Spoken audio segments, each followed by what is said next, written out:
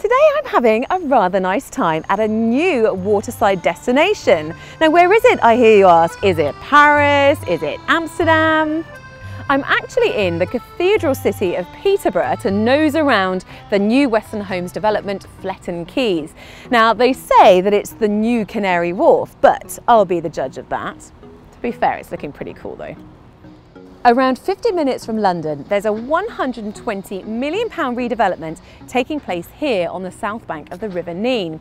So a hotel, offices, bars, and even an urban beach is being created, giving life to a whole new community. So with the tree-lined boulevards and the green spaces and the bars, it's going to feel so cosmopolitan. Going well so far.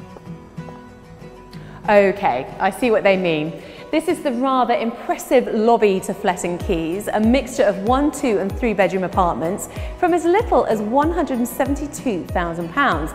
So that means that with the Help to Buy scheme, you could purchase one with a deposit of under 9,000.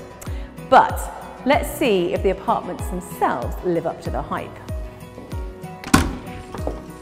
So I've had a bit of a look around and this is one of the one bedroom apartments. What's really struck me is that although you're paying Peterborough prices, you're actually getting the kind of high spec fixtures and fittings you'd expect from a London pad.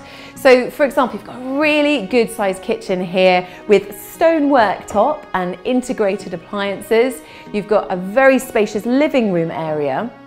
The bedrooms are ample, more than ample in fact, with fitted wardrobes. Love that you have all this smart technology in the bathroom. So for example, the tap, the mirror, which is also heated, and even the shower. And will you just look at the view from this balcony? You know what? It really does feel like a Canary Wharf apartment, but without the price tag. But that's for now, so I think if you're interested, you might want to get in early.